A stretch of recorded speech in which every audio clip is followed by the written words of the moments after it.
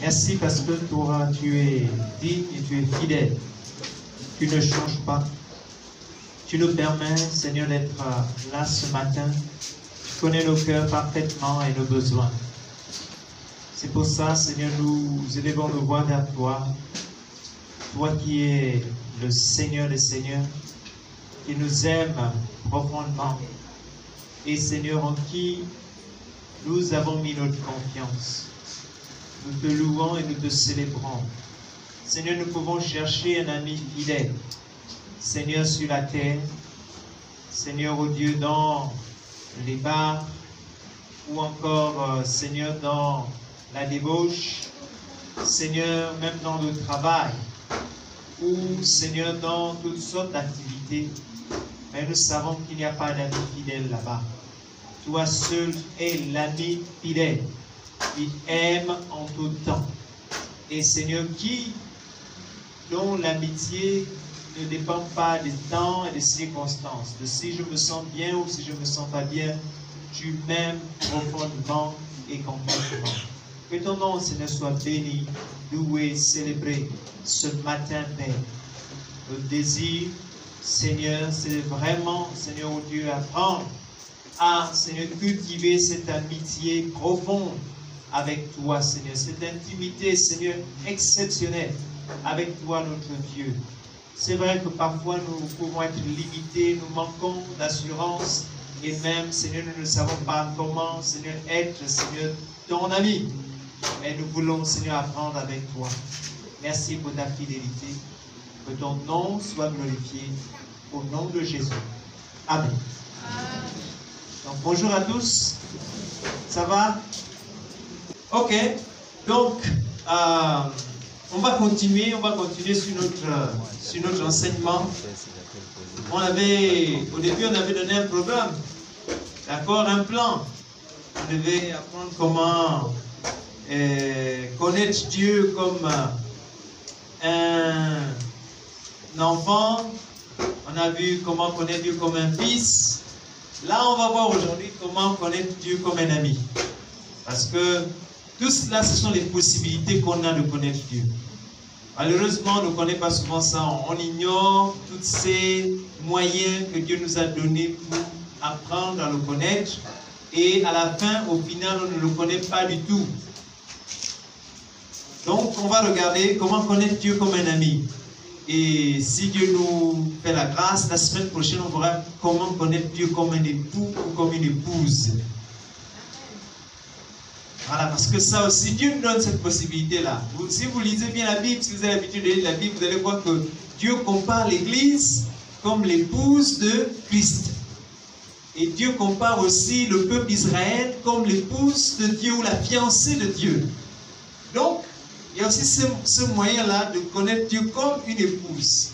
Et on va voir qu'est-ce qu'une épouse peut demander à son mari et qu'est-ce que son mari, qu'est-ce qu'un mari est capable de donner à sa, à sa femme.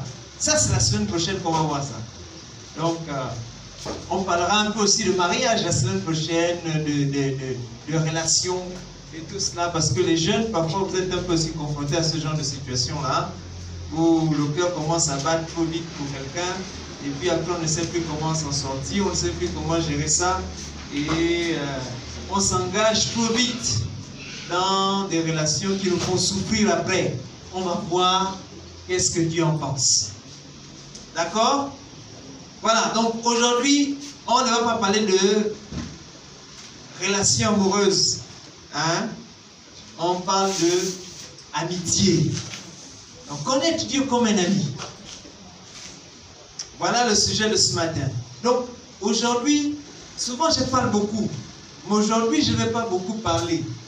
Je vais dire quelques, quelques éléments, mais Aujourd'hui, c'est vous qui allez beaucoup parler. J'espère que vous allez parler plus que moi. Ok? Donc, ce sera interactif aujourd'hui. Parce que vous connaissez quand même ce point ami.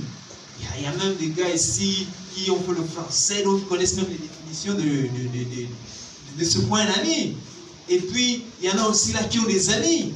Un ami, deux amis, trois amis, quatre amis. Donc, ils connaissent ce qu'un ami. Bon, vous voulez que je vienne vous raconter toute ma vie ce sera à vous maintenant aussi de me raconter votre vie. C'est bon? Est-ce qu'on est, d'accord sur ce problème de la difficulté? Vous vous souvenez de l'histoire de Job Il a tout perdu en un jour. Et, et ses enfants, et toutes ses richesses, et tout, tout, tout, tout, tout. Et il est tombé malade. Et il a commencé à accuser Dieu. Il dit, mais Dieu, pourquoi? Pourtant, je, je donne ma dîme, et pourtant, je vais à l'église, et pourtant, je fais ceci, et pourtant, et pourtant, et pourtant, je suis si juste. Mais comment le malheur m'atteint? Comment maintenant je me vois être affligé, je suis malade, les, les, chiens même viennent lécher mes plaies? Comment? Quelqu'un qui était honoré, qui avait la gloire, qui était vraiment riche et qui était bien, qui avait une bonne position dans la société. Les gens que quelqu'un qu'on respectait et qu'on le voit le respecter, il avait du respect, les gens avaient du respect pour lui. Et là, il était tombé très bas. Il a appris à connaître Dieu dans la douleur et dans la difficulté. Il va dire, Seigneur, avant, j'avais entendu parler de toi.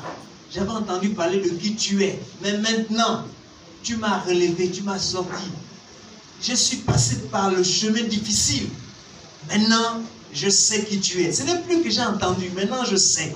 Je, quand je regarde ma vie, je vois comment tu agis, je vois comment tu me parles, comment tu me fais confiance. Je sais maintenant qui tu es. Ce n'est plus qu'on m'a dit, oh non. Seulement moi-même, j'ai vu et je sais. D'accord? Donc, notre cheminement, c'est de partir de j'avais entendu parler de toi à aujourd'hui, j'ai vu, j'ai vu qui tu es, ou je sais qui tu es. C'est ça le chemin à parcourir. Au début, c'est j'avais entendu parler. Ou bien on a même vu quelqu'un qui ne connaissait même pas Dieu. Et on part de là-bas pour arriver jusqu'à maintenant, oui. Seigneur, je te connais.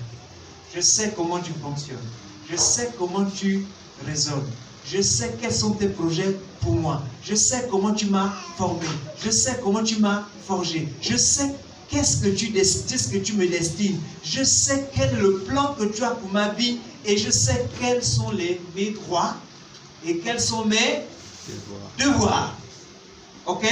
Et donc quand je marche, je peux marcher en assurance parce que je sais que même si quelqu'un essaie de me troubler ou de me tromper en me racontant des histoires, je sais qui Dieu dit que je suis.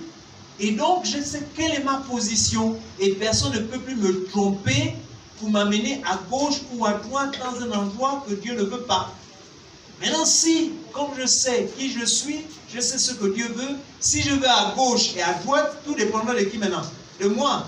Parce que je sais ce que Dieu veut, mais moi-même, volontairement, je décide de partir à gauche. Donc, si j'ai des problèmes là-bas, ce n'est pas Dieu que je vais accuser, ce n'est pas le diable que je vais accuser, ce n'est pas l'autre que je vais accuser, c'est moi-même. Est-ce que c'est clair? Voilà le chemin. Voilà ce qu'on veut apprendre avec Dieu. Parce qu'on a dit que connaître Dieu, ce n'est pas poursuivre la bénédiction. Ce n'est pas aller à gauche, à droite pour qu'on t'impose les mains, qu'on te verse lui dessus pour que... Non. Ce n'est pas chercher l'onction. Connaître Dieu, c'est apprendre à marcher avec Dieu. La Bible dit que Abraham a marché avec Dieu, il a fait confiance à lui, il a cru en Dieu, à tel point qu'on l'appelait ami de Dieu. La Bible dit encore que David est appelé l'homme selon le cœur de Dieu. Donc, c'est c'est l'ami de Dieu. Et on a même vu l'histoire où l'histoire d'Abraham où Dieu lui-même dit, est-ce que je peux cacher à Abraham ce que je vais faire? Mon ami, Abraham, mon ami, celui avec qui je partage, celui qui est intime avec moi, comment je peux faire quelque chose sans lui dire Non, je ne peux rien faire sans lui il faut que je lui dise. Ok? Voilà. Est-ce que tu es comme ça avec Dieu? Au point que quand Dieu veut faire quelque chose quelque part, il te dit, bon, mon ami, demain, à telle heure, je veux faire ceci, je veux faire cela, à tel endroit. Qu'est-ce que tu penses de ça? Ça, c'est vraiment quelque chose d'extraordinaire. Hein? on va chercher ça. Amen. On va chercher ça. Que Dieu nous dise ce qu'il va faire. Donc, pour que Dieu me dise ce qu'il doit faire, il faut que moi aussi je dise à Dieu ce que je pense, ce que je dois faire. C'est ça l'amitié, non. Vous connaissez la définition. Donc, avançons. Donc, on est ici, toujours connaître Dieu maintenant comme un ami. La dernière fois, on l'a vu comme un fils. Maintenant, c'est comme un ami. Ok? Donc, un ami, c'est quelqu'un, un ami de Dieu, c'est celui qui est en relation et en communion avec Dieu. Bon, j'ai regardé un peu dans le dictionnaire, c'est quoi l'amitié?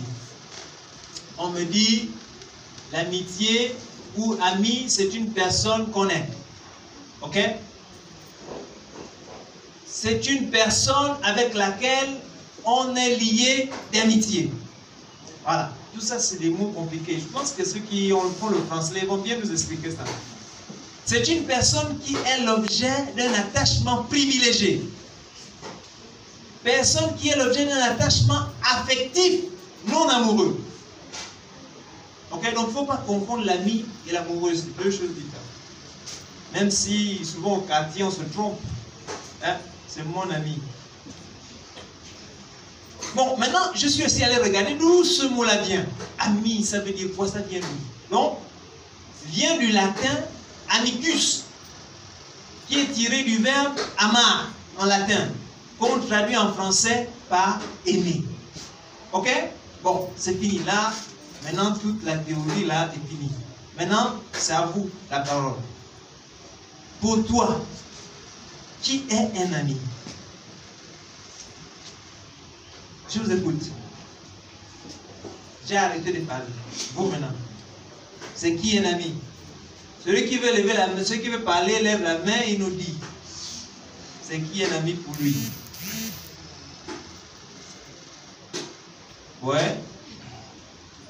Il est ici. Ok. D'accord. Monsieur, on vous écoute. Ami pour moi, c'est une personne à qui je suis attaché, Ok. passionné d'être avec lui. Et euh, je me confie. Je me confie Doucement, doucement. Un ami, c'est quelqu'un à qui tu es attaché. Un. Deux. Je suis passionné d'être avec Tu es lui. passionné d'être avec lui. Trois. Ensuite, je me confie aussi avec Tu te confies à cette personne. Ok? C'est ça un ami. Bon, pour lui, hein. Maintenant, pour, pour les autres. Vous n'avez pas d'amis. Personne n'a d'amis ici. C'est le seul. Ah, il y a une maman, il y a maman qui a, qui a la définition là-bas. Oui, maman. Un ami est une amie pour moi, c'est quelqu'un que j'ai confiance en lui, C'est quelqu'un en qui j'ai confiance. en qui je peux partager mes peines et mes soucis avec la personne. Personne avec qui je peux partager mes peines et mes soucis. Ok, je peux m'arrêter là. Merci, maman. Ou encore? Oui. Un ami pour moi, c'est une personne que je considère comme un membre de ma famille. Oui C'est tout Ok. Oui. Un ami, c'est une personne que tu as grandi avec lui ou tu as confiance en lui? Non, non, non, c'est toi-même. C'est-à-dire, quand je dis plus tu, dis-moi. Un ami, c'est quelqu'un qu'on a grandi avec. C'est une personne avec qui tu as grandi. Ok. Donc, c'est ton frère. Parce que tu grandis aussi avec ton frère, non? Le frère est comme l'ami. Le frère aussi est comme un ami. Ok, d'accord, merci beaucoup. Qui d'autre? Il n'y a personne ici. Vous là-bas, vous là-bas, les chiffres et les autres, vous n'avez pas d'amis, vous. des scientifiques. C'est des scientifiques qui ne connaissent pas les définitions. Ah, c'est ça que lui il a dit, c'est pas moi qui ai inventé ça. Il a dit les scientifiques ne connaissent pas les définitions. Vient de- Ah voilà, il y a une scientifique qui va se défendre ici. Oui, oui. Pour moi, un ami, c'est une personne avec qui j'ai vraiment un, un lien, une affection particulière et avec qui je peux partager mes hauts et mes bas, mes peines, mes souffrances, avec qui peut-être il y a déjà ce qu'il a dit confiance, mais c'est comme si c'était une personne de ma famille. D'accord. Oh, et retiens trois choses. Vous n'avez pas bien entendu, non? C'est une personne avec qui il a une affection particulière. Un. Deuxièmement, c'est une personne qu'elle peut partager ses oui. Non, elle n'a pas.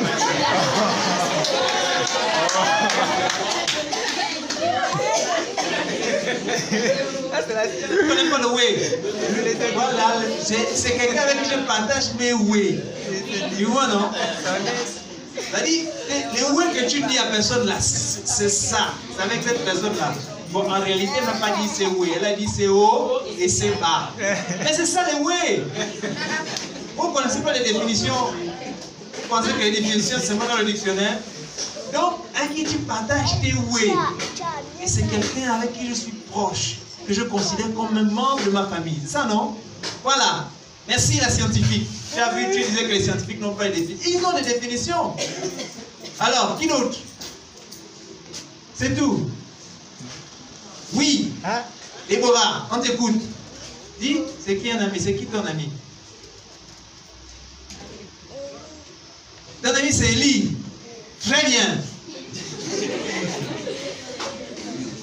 C'est son ami, c'est Elie. Très bien, c'est réglé. Alors, qui d'autre veut nous proposer autre chose Oui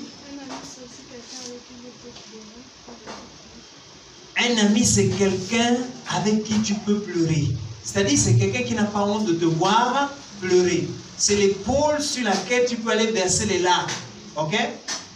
Et Donc, l'ami, là, c'est seulement celui avec qui on partage les choses, les problèmes, quoi. Bon, il y a une définition ici, donc Oui, oui, oui. Oui.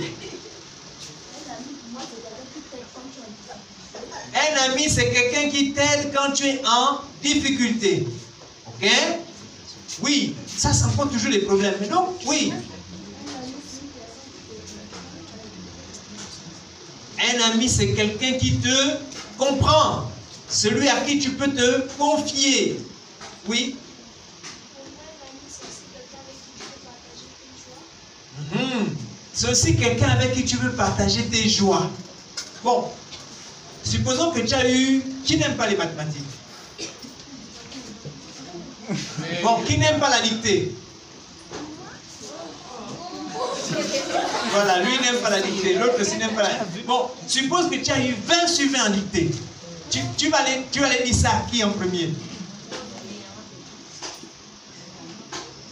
N'est-ce pas? Voilà, ça c'est ton ami. Tu dis non, ma copine, je n'ai jamais vu ça.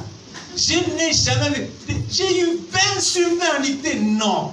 Ça dit, je ne sais pas comment lui a fait pour me donner 20 sur 20 en dictée, quoi. Et là, tu vois, c'est comme celui qui n'aime pas les mathématiques. Il a 20 sur 20 en maths. Oh, monsieur. Ah, c'est impossible. Tu reçois, hein Bon, moi, je n'aimais pas la dictée. Souvent, j'avais zéro. Quand on faisait nombre de fautes, nombre de coups, c'est moi qui avais le plus grand nombre de, coups. Moi, je vous dis la vérité. Hein. Le plus grand nombre de coups, donc si 20, 22 fautes, tout, on, on, on, on encaissait ces 22 coups-là. Et puis un jour, j'ai eu 16 en dictée. C'est-à-dire que c'est la meilleure note que je n'ai jamais eue. Quoi. Vous savez, c'était une dictée préparée.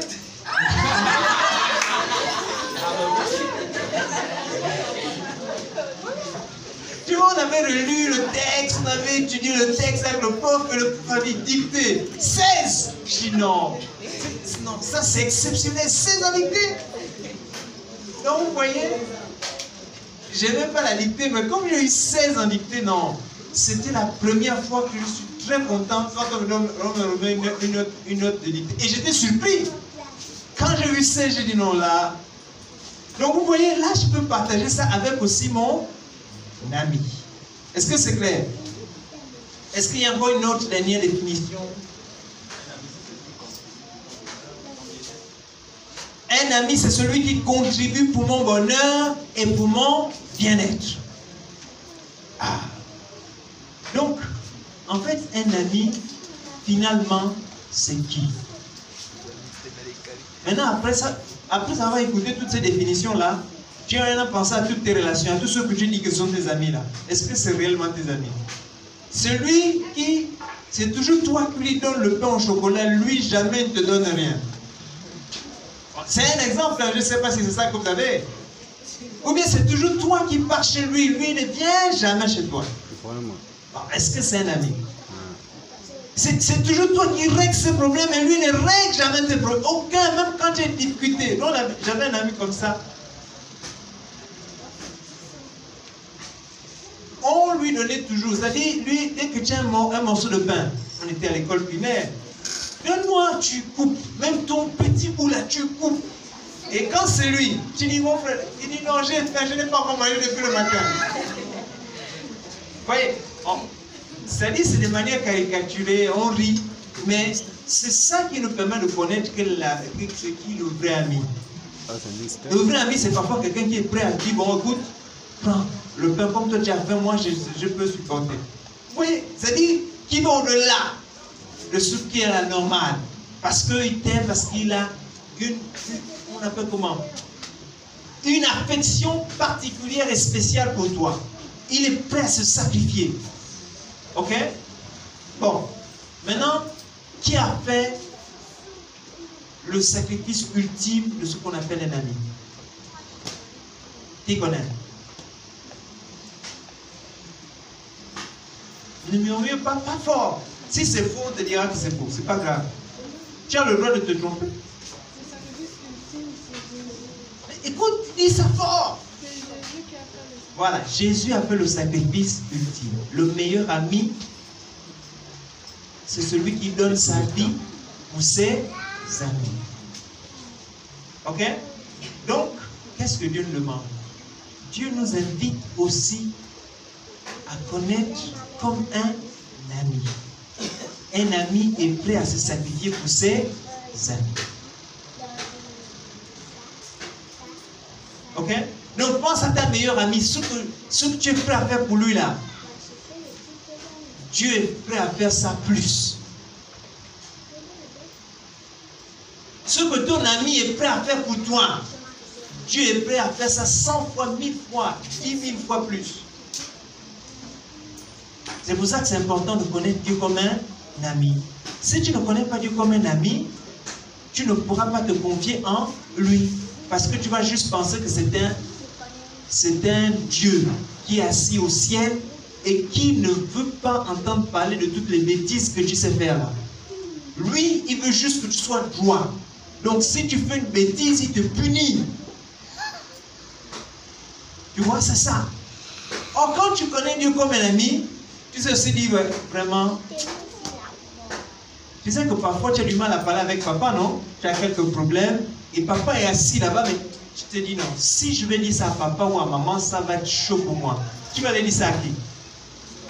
À ton ami Tu dis non, ce qui m'est arrivé vraiment, j'ai fait telle bêtise. J'ai fait telle bêtise. Est-ce que tu sais comment je peux me prendre pour aller expliquer ça à papa? Lui va te donner quelques petits conseils. Parfois, il dit non, non, non, il ne faut pas les dire, il ne faut pas les dire, sinon ça va être, ça va être dur. Ne va pas dire. Reste, laisse l'affaire là comme ça. Et puis le jour que papa découvre, c'est toi qui subis aussi. Ok? Donc, quand Dieu est avec toi comme un ami, tu ne vois plus comme un père qui va te frapper parce que tu as fait une bêtise. Non, mais tu vas le voir comme quelqu'un auprès de qui tu peux aller te confier. À chaque fois que tu as une situation difficile et complexe, tu vas aller le voir et lui dire, bon, écoute mon ami, voilà la situation que je traverse. Et comme Dieu est le meilleur ami, qui aime en tout temps, qui a les meilleurs conseils du monde, il va te donner les meilleurs conseils pour que tu puisses bien agir. Amen. Voilà. C'est ça. Bon, lisons. Lisons un peu ce que Dieu pense, ce que la Bible pense d'un ami. Il leur dit encore, si l'un de vous a un ami et qu'il aille le trouver au milieu de la nuit pour lui dire, ami, prête-moi trois pains, car un de mes amis est arrivé de voyage chez moi et je n'ai rien à lui offrir.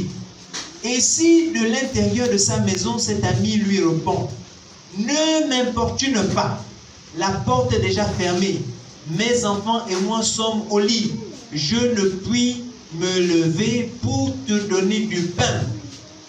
On lit la suite. Je vous le dis, même s'il ne se levait pas pour lui donner parce que c'est son ami, il se leverait à cause de son importunité et lui donnerait tout ce dont il a besoin. Et moi, je vous dis, demandez et l'on vous donnera. Cherchez et vous trouverez. Frappez et l'on vous ouvrira. Car quiconque demande reçoit, celui qui cherche trouve et l'on ouvre à celui qui frappe. C'est pas en vain que Jésus-Christ a mis tout ça là dans l'endroit où il parle de l'ami. Parce qu'un ami, normalement, est prêt à donner à son ami. Il est prêt à se réveiller à 3 heures du matin. Ok? Même s'il a sommeil. Donc, la réponse que Jésus a d'abord donnée, c'est une réponse anormale pour un ami. Si un ami vient à 23 heures te cogner pour dire j'ai faim, la première chose que tu vas faire, ce n'est pas dire je suis fatigué. Sauf si ce n'est pas ton ami. Tu vas dire non. Je vais me lever et puis je vais aller voir quel est son problème. C'est ça un ami, hein? D'accord? Mais après, Jésus va plus loin en disant que même si un ami faisait ça, mais comme tu, comment comme, comme tu insistes auprès de ton ami, ton ami va, va se lever. Même s'il était très fatigué, il va se lever pour dire, je vais aller aider mon ami. Ok? Donc, en réalité, selon la définition, c'est que un ami, selon Dieu, c'est c'est un- c'est quelqu'un qui est prêt à quitter ses privilèges, à abandonner ses droits, à laisser ce qu'il a pour le bien de son ami. Bon, maintenant, toi-même, est-ce que tu es un ami comme ça? Ou toi, tu es un ami, quand tout va bien, quand il n'y a pas de problème, tu es là. Dès qu'il y a un problème, tu retires ton corps, tu dis, Eh, moi, je ne suis pas dans cette affaire-là. Quand tu as commencé ton histoire, moi, je n'étais pas dedans. Donc, débrouille-toi là-bas. Tu es quel type d'ami? Si tu n'es pas ce type d'ami qui est prêt à donner au-delà de ce que tu as pour ton ami, prends la leçon avec Christ. Et traite avec Christ et avec Dieu comme un ami.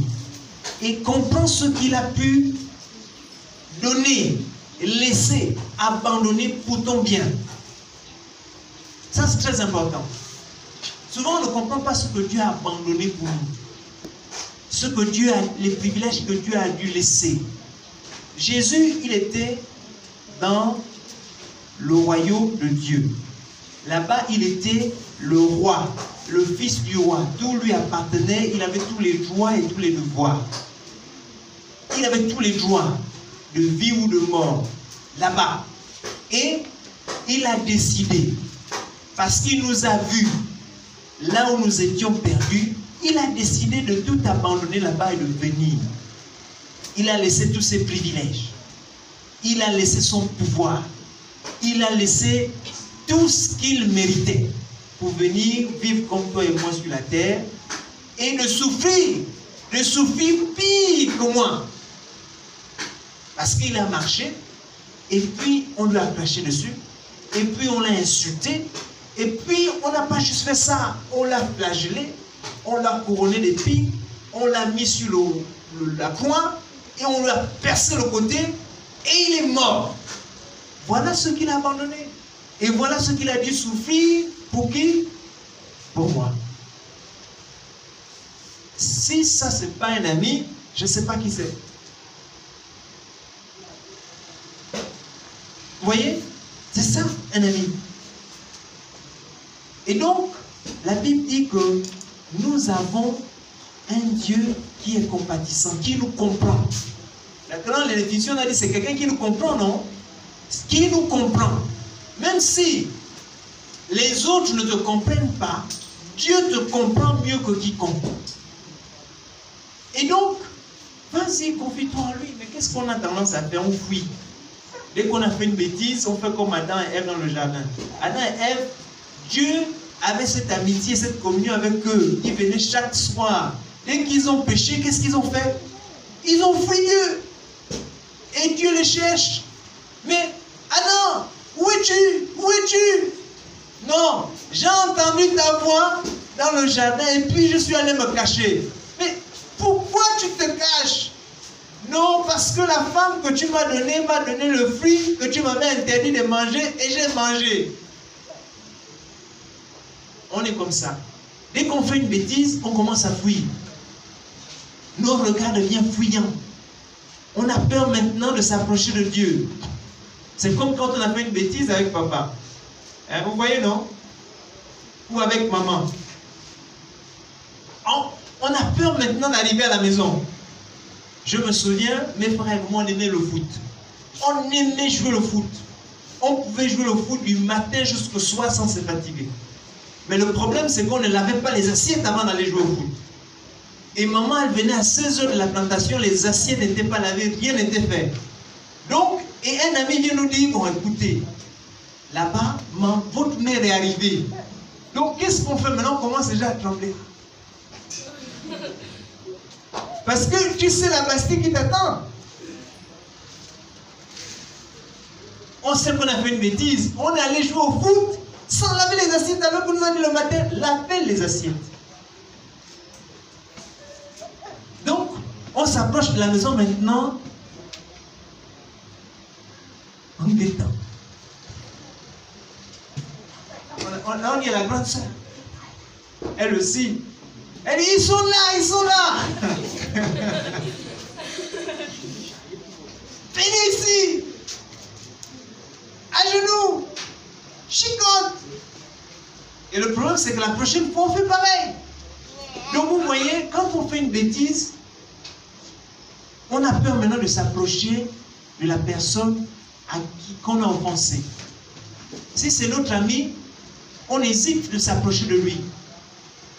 Et pourtant, il peut nous comprendre. Je me souviens une fois, c'est à ce moment-là que j'ai compris la grâce. J'étais déjà chrétien.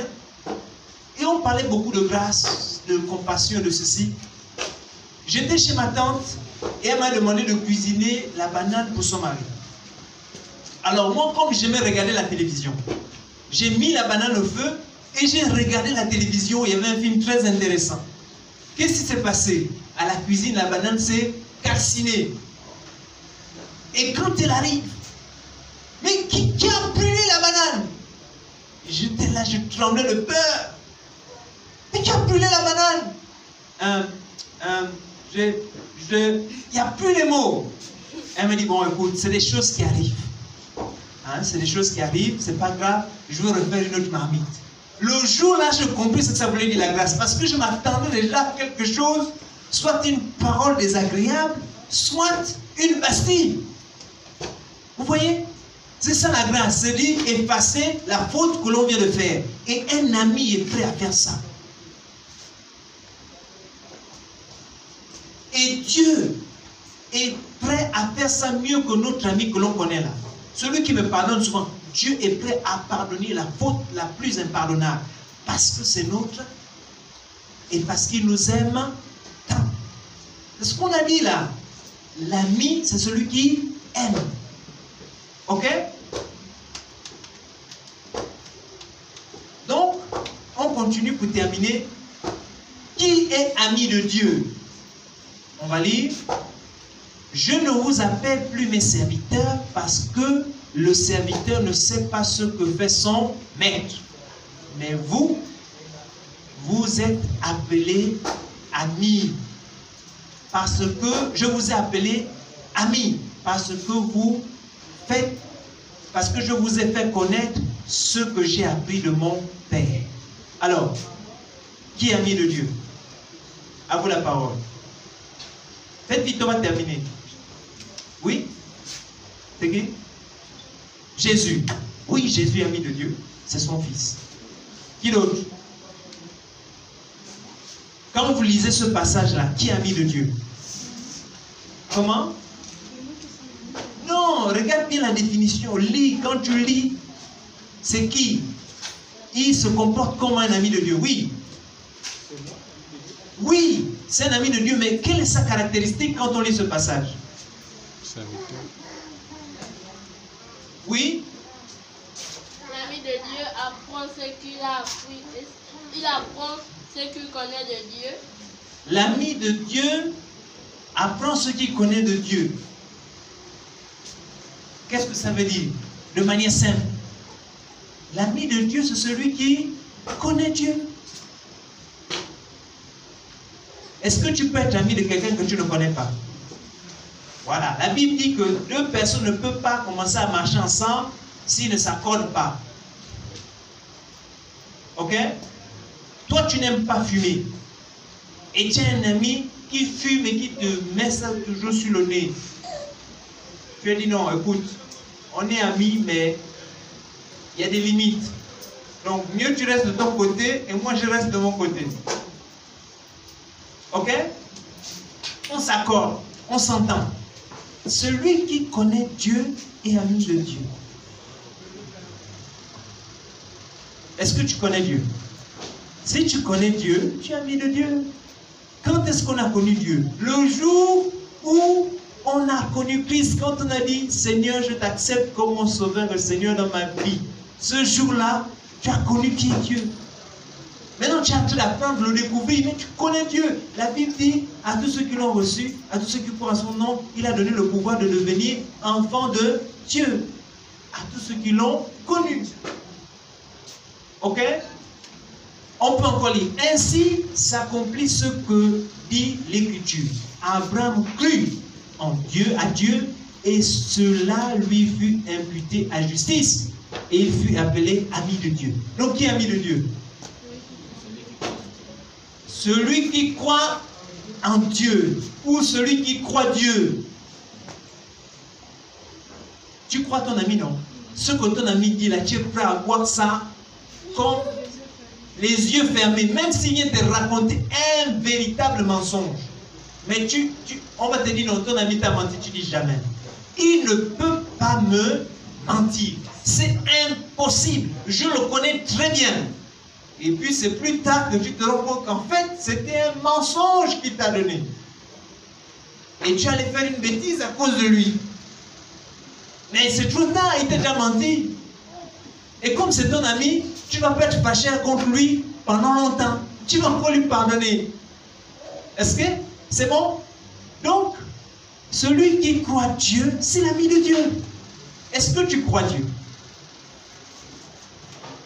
J'insiste sur le fait, est-ce que tu crois Dieu? Je ne dis pas, est-ce que tu crois en Dieu? Parce que celui qui croit en Dieu, tout le monde croit en Dieu, même les démons, ils croient en Dieu. La Bible dit, les démons croient en Dieu et ils tremblent. Toi, est-ce que tu crois Dieu? Est-ce que tu crois ce que Dieu te dit? Quand Dieu te dit qu'il t'aime, est-ce que tu crois réellement que Dieu t'aime? Ou tu dis non, oui, Dieu aime tout le monde. Mais moi là, je ne suis pas sûr. Oui, c'est toujours comme ça. Quand on croit en Dieu, non, est-ce que tu crois Dieu? Quand Dieu te dit, tu es venu lui expliquer ta situation difficile, tu as péché, tu t'es égaré, tu as fait une bêtise, et tu es venu dire à Dieu, Seigneur, j'ai mal agi, et je te demande pardon. Est-ce que tu crois que Dieu t'a pardonné? Souvent, tu ne crois pas. Parce que tu vas encore revenir une deuxième fois. Quand le diable te dit, tu es sûr, tu es sûr vraiment qu'un Dieu saint comme Dieu, la grosse bêtise que tu as faite là, tu penses que Dieu t'a réellement pardonné? Tu crois qui? Tu crois Dieu ou tu crois le diable? La question, tu crois Dieu ou tu crois le diable? Souvent on croit le diable. Parce que le diable, il te siffle sa vie à l'oreille. Il te montre la grosseur de ta faute. Et il te dit, Dieu ne peut pas te pardonner. Là, il ne peut pas te pardonner aussi simplement quoi. Il faut que tu fasses encore autre chose pour que Dieu te pardonne. Et c'est comme ça que tu vas dire, bon, là, je fais une grosse offrande à Dieu pour me faire pardonner. Mais non, le jour où tu as dit, Seigneur, sincèrement, je reconnais ma faute et je te demande pardon, Dieu t'a pardonné totalement. La Bible dit qu'il ne, se souvient plus de nos fautes. Nos péchés, il les prend, il les jette dans la mer, au fond de la mer, et il oublie. Voilà qui est Dieu, voilà le caractère de Dieu. Donc, puisque Dieu est un ami comme ça, pourquoi ne pas venir lui confier nos temps, problèmes difficiles? Ok? Puisqu'il est prêt à pardonner. Alors viens, dis-lui que bon, écoute, encore une fois de plus, je n'ai pas fait comme tu voulais. Pardonne-moi. Montre-moi comment je peux faire pour que la prochaine fois, je fasse mieux. Ok? Quand tu comprends ça, tu es libéré. Tu vis librement. Tu n'es plus sous la prison de la culpabilité. Ok? Oui, une question. Oui?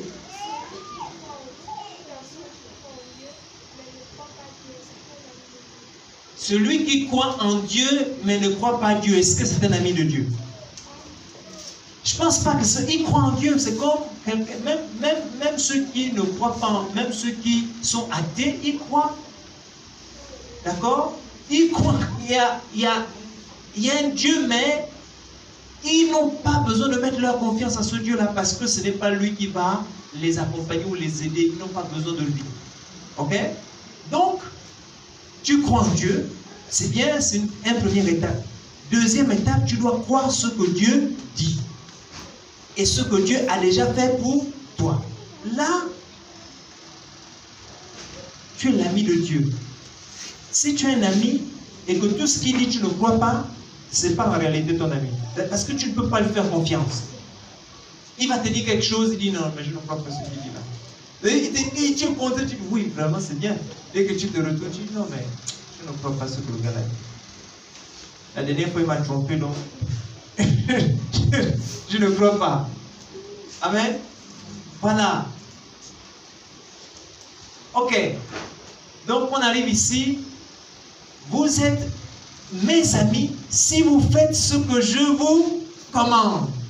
Alors, qui est ami de Dieu? Oui, oui, oui, oui, oui. Je suis un ami de Dieu? Oui, tu es un ami de Dieu quand tu fais quoi? Quand j'écoute ce qu'il me dit, Voilà, quand tu écoutes ce qu'il me dit. Quand j'obéis à Dieu. Là, je suis un ami de Dieu. Regardez un peu l'histoire d'Adam et Ève dans le jardin. Adam et Ève ont une relation privilégiée avec Dieu. Et puis, Dieu leur a dit, ne mangez pas le fruit. Qu'est-ce qu'ils ont fait? Ils ont mangé le fruit. Qu'est-ce que Dieu a fait? Dieu les a renvoyés du jardin. La relation d'amitié, de proche, d'intimité qu'ils avaient avec Dieu a été rompue. Ils se sont retrouvés loin de Dieu, avec la difficulté de communiquer à nouveau avec Dieu de manière simple. Ok? C'est la même chose qui nous arrive. Quand on s'éloigne de Dieu, quand on s'égare, quand on fait une faute, ça coupe la communion. Et heureusement, nous devons croire en Dieu quand il dit, si tu confesses ton péché, Dieu est fidèle et juste pour te pardonner et te purifier de toute iniquité. Quand je crois ça, dès que j'ai péché, j'ai dit, Seigneur, pardonne-moi. J'ai encore fait une bêtise. S'il te plaît, ramène-moi dans ton intimité et l'affaire est réglée. Ok? L'affaire est réglée. En 2, 4, 6. De là à là. On n'a pas besoin d'attendre. Or, nous, qu'est-ce qu'on fait? On pense que Dieu est comme nous. Dit non. Tu viens de faire une bêtise. Laisse-moi d'abord digérer la faute que tu as faite là. Je ne peux pas encore te pardonner pour le moment. Laisse-moi d'abord aller. Je, je veux retrouver mes, mes esprits. Et puis on verra. ça, c'est nous qui sommes comme ça. Dieu, lui, n'est pas comme ça. Dieu, dès que tu as confessé, même si tu viens de faire la faute, dès que tu confesses, il t'a pardonné. Donc, pourquoi? Parce que ce que Dieu veut, c'est que la communion avec lui reste en permanence. Donc, nous qui sommes amis de Dieu là, même s'il arrive qu'on fait une bêtise, on fait une erreur, on se trompe lourdement, il ne faut pas attendre de venir demander pardon à Dieu et de croire qu'il nous a pardonné. Parce que aussi longtemps qu'on ne croit pas que Dieu nous a pardonné, l'amitié est... Ok? Voilà. Donc celui qui obéit. Bon, quand tu es ami de Dieu, tu gagnes quoi? Vous aimez gagner quelque chose, non? Il y a des gens qui aiment trop les bénédictions là. Qu'est-ce que tu gagnes quand tu es ami de Dieu Au lieu d'aller poursuivre les bénédictions à gauche à droite, tu gagnes quoi? Être ami de Dieu. Hein? Tu gagnes sa grâce. Très bien. Hmm? Tu gagnes la grâce de Dieu. Donc, vous pouvez aller regarder ces différents versets-là. OK? Pour aussi trouver d'autres. Ce que vous gagnez quand vous êtes ami de Dieu. Qu'est-ce qu'on gagne? Peut-être tu gagnes quoi quand tu es ami de Dieu? Sa confiance. N'est-ce pas? Tu gagnes la confiance quand tu es ami de Dieu. Ok? Tu es déclaré juste. C'est-à-dire, même si tout le monde te voit comme pécheur, dès que tu es ami de Dieu, tu es déclaré juste.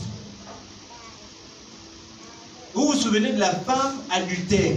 C'est-à-dire, on avait déjà mis sur son front, on a écrit, elle marchait avec une pancarte adultère. Quand Jésus, elle a rencontré Jésus, Jésus a dit, ma fille, va, tes péchés te sont pardonnés. Va et ne pêche plus. Donc, on est déclaré juste, malgré le nombre de fautes qu'on a faites. On est aimé de Dieu, aimé de Dieu. On a dit l'amitié, c'est aimer, non? Voilà. Donc, on est aimé de Dieu. On parle avec Dieu. Voilà. Face to face. On a un Facebook, un live avec Dieu. Quand on est ami de Dieu. Ok? Si tu ne comprends pas comment on fait un face to face avec Dieu, il faut demander, a des spécialistes de face to face là.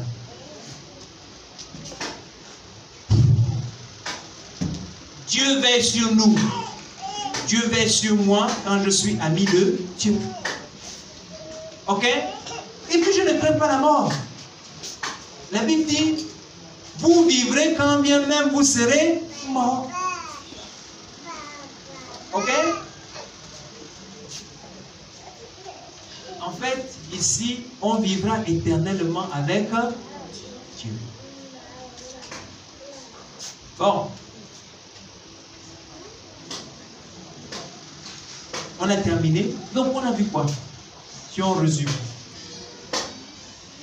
L'amitié, l'ami, c'est celui qui aime. Celui qui aime est prêt à donner sa vie pour son ami. Ok? Aimer Dieu ou être ami de Dieu, c'est lui obéir. C'est croire, croire à Dieu, ok? Obéir à Dieu et connaître Dieu. On le connaît, on croit ce qu'il dit et on obéit à ce qu'il dit. On est ami de Dieu. À partir de ce moment-ci, tu respectes ce principe-là tous les jours, tu es en permanence en communion avec Dieu. Il n'y a pas de. On enlève les amis. Vous savez, les enfants disent on enlève les amis, on n'est plus les amis. Non. Oui, ça, ça arrive quand tu fais une faute et que tu ne crois pas que Dieu est capable de te pardonner. Effectivement, tu t'éloignes de Dieu. Ce n'est pas Dieu qui ne, veut, qui ne veut plus que tu sois son ami, mais c'est toi qui t'éloignes volontairement de Dieu. Mais quand tu règles, quand tu reconnais que Dieu est capable de te pardonner, que tu lui demandes pardon, vous êtes amis en permanence. Ok? Voilà, donc, on peut connaître Dieu comme un père, donc comme un fils, on peut aussi connaître Dieu comme un ami.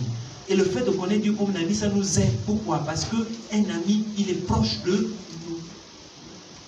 Prions.